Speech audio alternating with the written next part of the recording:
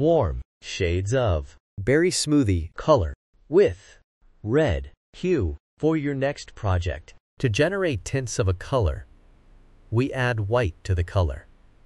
And tints creates light and exquisite emotions. To generate shades of a color, we add black to the color, and it is used in patterns. 3D effects, layers and shades create depth and drama. berry smoothie Is a warm color, and it emits cozier and active emotion. Warm colors are symbols of warmth, fire, heat, and sunshine. It also evokes joy, passion, love, and even anger emotions. You can see them used in restaurants and gyms.